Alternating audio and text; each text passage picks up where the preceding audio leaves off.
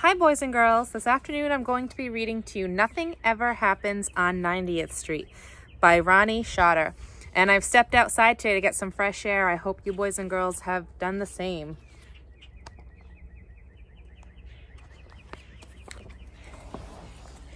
Eva unwrapped a cinnamon Danish, opened her notebook, and stared helplessly at the wide white pages. Write about what you know, her teacher, Mrs. DeMarco, had told her. So Eva sat high on the stoop and looked out over 90th Street, waiting for something to happen. A horn honked, a radio rapped, a kid cried, the usual. Nothing ever happens on 90th Street, Eva scribbled in her notebook.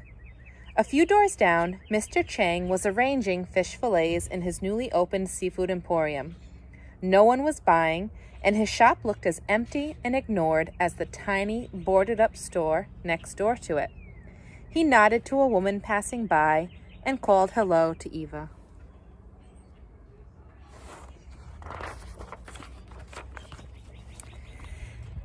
Out the door of Eva's building came Mr. Sims, the actor, carrying his enormous cat, Olivia.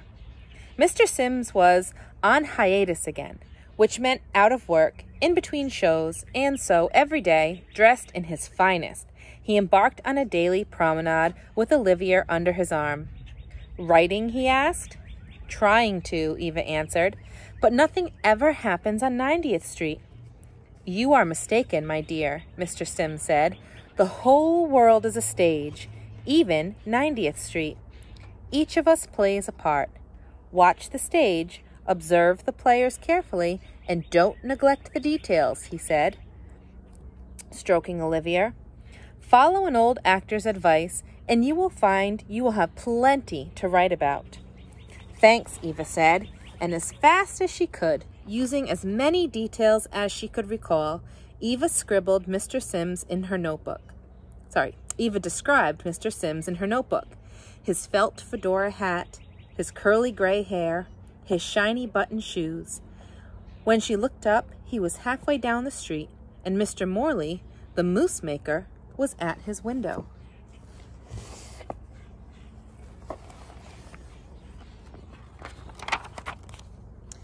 Just as he did every day, Mr. Morley set his chocolate pot and coffee urn out on his ledge with a sign. Mr. Morley dreamed of having a catering business where the fanciest people demanded his dessert. But the trouble was, Mr. Morley's mousse was missing something.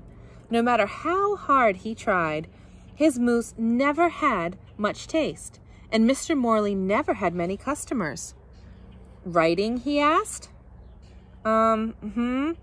Eva answered, chewing on her pencil. Try to find the poetry in your pudding, Mr. Morley said softly. There's always a new way with old words. You're right, Eva said, wishing Mr. Morley would one day find the poetry in his pudding. Taking his advice, she tried to think up a new way to describe the look of Mr. Morley's mousse. Smooth and dark as midnight, or maybe more like mink Yes, that was it, Eva thought, writing in her notebook.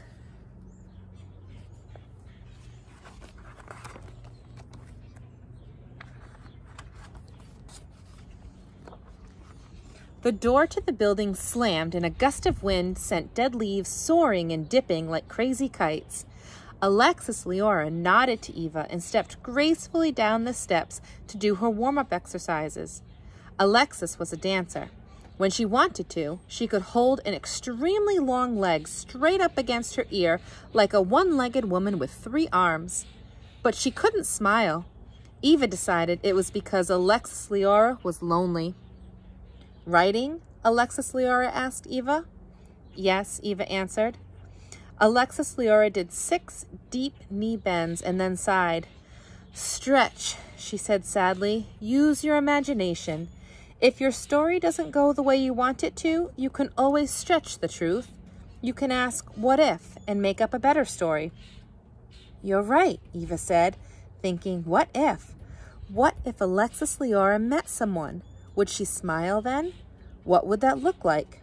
Eva closed her eyes to try to picture it, but all she could picture was soup, Spanish soup, rich and brown and so spicy it seemed as if she could actually smell it.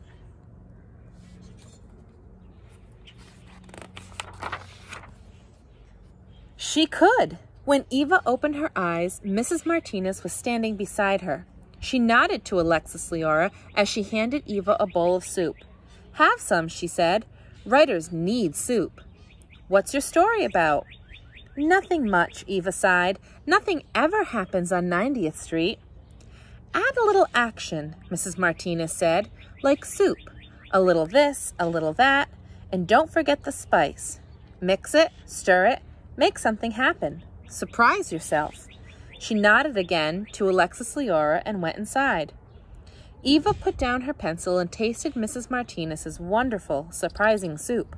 She thought about her story. It wasn't wonderful. It wasn't surprising. But what could she do? Nothing ever happened on 90th Street. How could she possibly add a little action and make something happen? Eva had no ideas. She was stuck. Then Mrs. Friedman from up the block came wheeling baby Joshua in his stroller. He was holding a bright red ball in two tiny fat hands. Bird, he called out to a pigeon hunting for something to eat. Bird, hungry. Pigeon, Mrs. Friedman told him. Eva sighed and looked down at her half-eaten Danish, then at her notebook. She looked at baby Joshua, then at the pigeon. She remembered Alexis Leora's words of advice. What if? Eva thought. Suddenly, she had an idea. What if she stood up, broke her Danish into dozens of tiny pieces, and scattered them wide and wild into the street? What would happen? Eva laughed to think of it. From lampposts and ledges, dozens of pigeons swooped down to dine on Danish. Eva eagerly picked up her pencil and began to write again. Bird! Baby Joshua called out, pointing. More bird, he cried, panting. The bright red ball dropped out of his tiny fat hands and bounced onto the sidewalk. Bye-bye, ball, baby Joshua screamed. The bull rolled, rolled off the curb into the street and straight into the path of a pizza delivery man on his bicycle.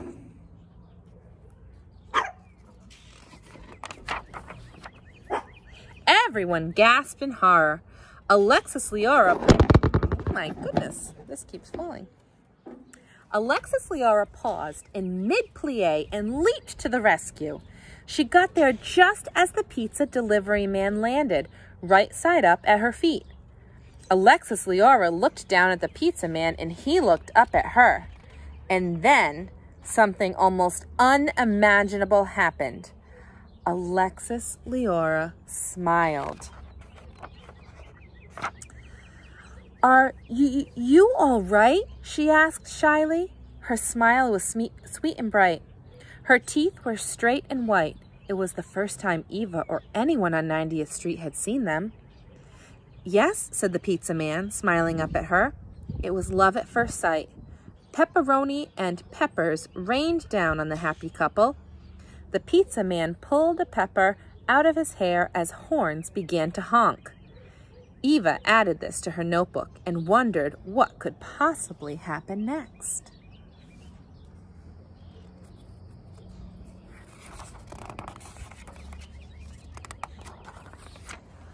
A long white limousine was honking its horn loudest of all. The limo driver rolled down his window. What do you want to block traffic for? he called out. The back door of the limo opened and out stepped a woman in sunglasses, wearing a turban and a coat the color of a taxi. There seems to be a problem, Henry, she said in a fake English accent. There's some sort of accident here, perhaps. It's Sandra, someone suddenly screamed, interrupting her. Sandra, can I have your autograph? Mrs. Martinez called out. Sandra Saunderson, Mr. Morley blushed. Was Eva dreaming? There, in the middle of 90th Street, larger than life, stood Sandra Saunderson, star of the stage, screen, and the sensational soap opera One World to Live in.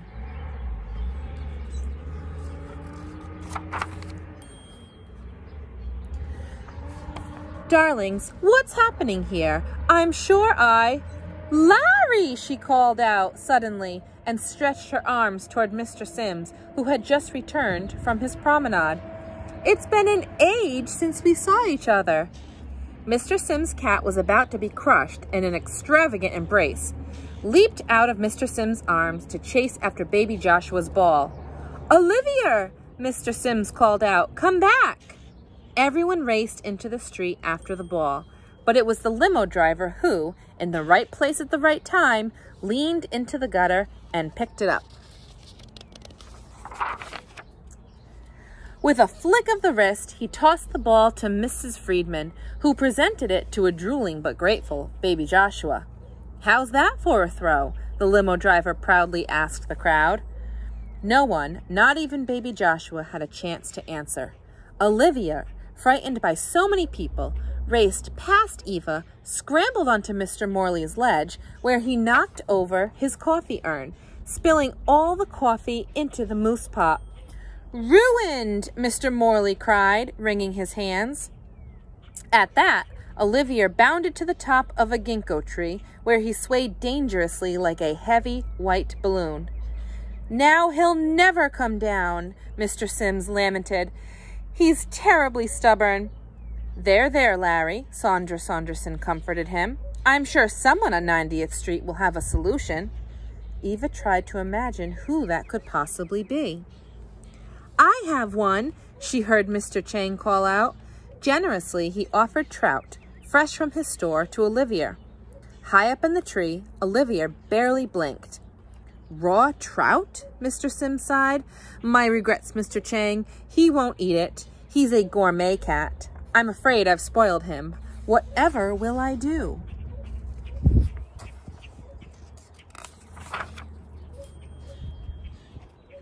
What if, Eva asked herself for the second time that day, and suddenly she had another idea, a truly great one. She whispered it to Mr. Morley, Mrs. Martinez, and Mr. Chang. Brilliant, Mr. Morley exclaimed. And with that, he, Mrs. Martinez, and Mr. Chang, still clutching his trout, vanished into the building. Eva righted Mr. Morley's coffee urn and stuck her finger into his ruined mousse, then in her, into her mouth to determine the degree of damage. Mocha, she called out in surprise. Mr. Morley's mousse is mocha now, and she paused, trying to find the perfect word. Magnificent, she announced to the assembled throng. And, giving the pot a stir, she dished out samples to all assembled. Delicious, Alexis Leora said, spooning some into the pizza man's mouth. Poetry, Sandra Saunderson pronounced.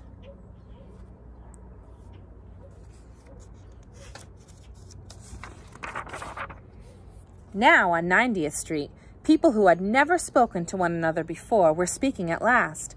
The pizza delivery man and the limo driver shook hands, and everyone tried to tempt Olivier down from his precarious perch. And then Mr. Morley appeared on the steps, followed by Mrs. Martinez and Mr. Mr. Chang. Mrs. Martinez carried a large pot of her surprising soup, while Mr. Morley carried a platter of Mr. Chang's trout now surrounded by many tiny vegetables and cooked to perfection. With the addition of a cup of Mr. Morley's cat-created mocha mousse, it was a meal worthy of the finest culinary establishment. Do you smell that, Olivia? Mr. Sims called, fanning the steam so it rose up from the ginkgo tree. Rose up, rose up the ginkgo tree. Olivia took one deep sniff and bolted down the tree to dine. Everyone on 90th Street sampled each course, and everyone on 90th Street sighed with delight. Superb! Fantastico! Yum! Eva smiled and glanced up from her notebook. For the third time that day, she asked herself, what if? Mr. Chang, she began, you and Mr. Morley and Mrs. Martinez are such great cooks. The boarded up store next to your seafood emporium. What if all of you used it for a restaurant? A restaurant? The three chefs looked at one another. What a wonderful idea, they said, shaking Eva's hand. Everyone on 90th Street could be our customers. You too, Sandra. Everyone but me, Mr. Sims said regretfully. Just now, I'm in between jobs and a bit low on cash. No longer, Sandra called out. You'll be on my show. I'll arrange it. Mr. Sims kissed Sandra's hand and everyone cheered. What an amazing day, Mrs. Martinez said. Who would believe it? If only someone had written it all down. I did, Eva announced, and she opened her notebook and began to read her story, the same story you're reading now, about how nothing ever happened on 90th Street. What a story, Sandra exclaimed, full of detail, dialogue, suspense, a bit of poetry, a hit, hint of romance, even a happy ending. Why, you'd almost think some of it was made up. Eva smiled mysteriously. Thanks, she said proudly, but just wait.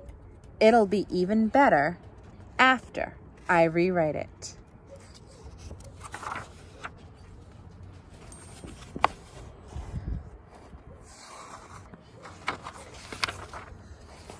So, boys and girls, this writer, Eva, became inspired by just writing down things that she's observing around her. Now, I know if you stepped outside on your front porch or deck and you looked around, all of these things wouldn't be happening. Okay. This setting was clearly in an inner city.